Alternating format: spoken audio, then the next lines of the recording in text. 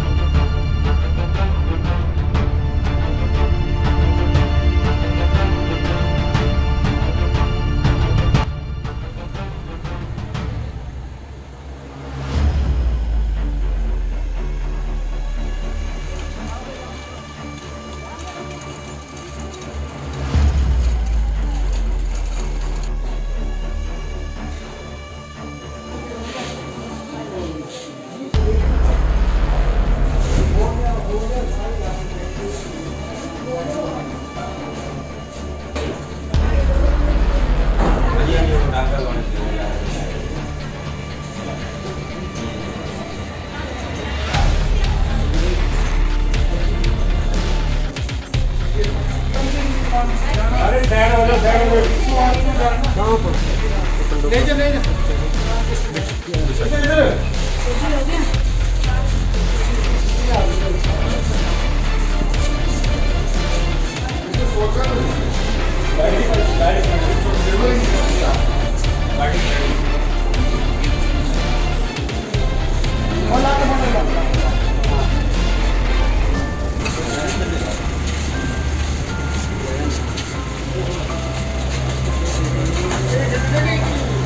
gente foi. É, que